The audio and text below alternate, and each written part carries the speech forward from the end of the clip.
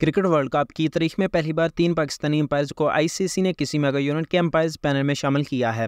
सनसनी खेज लम्हात से भरपूर टी ट्वेंटी वर्ल्ड कप 2024 यकम जून से वेस्ट इंडीज़ और अमेरिका के मुश्तर मेज़बानी में शुरू हो रहा है। जिसकी तैयारियाँ ज़ोर शोर से जारी हैं, आईसीसी ने गुजशत दिनों मेगा यूनिट के लिए अम्पायर्स पैनल का ऐलान किया है। क्रिकेट वर्ल्ड कप की तारीख में पहली बार किसी मेगा यूनिट के लिए तीन पाकिस्तानी एम्पायर्स का इंतखब किया गया है।